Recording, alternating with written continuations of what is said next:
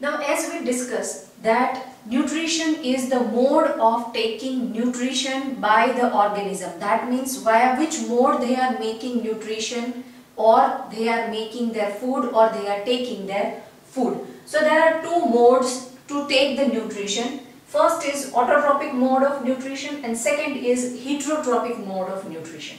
Autotrophic mode means auto means self and trophic means nourishment. That means they are preparing their own food.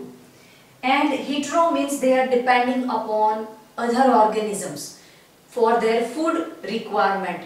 That mode is known as heterotrophic mode of nutrition.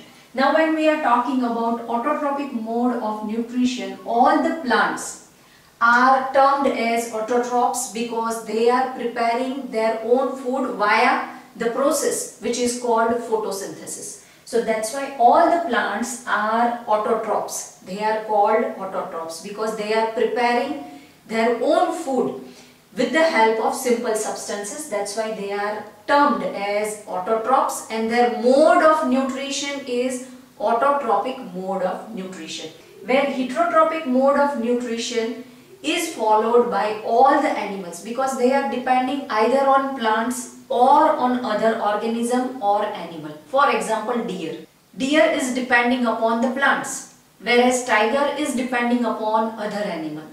All the animals and humans also, they are termed as heterotrophs because they are depending upon the plants and animal to fulfill their food requirement. They are not making their food by their own.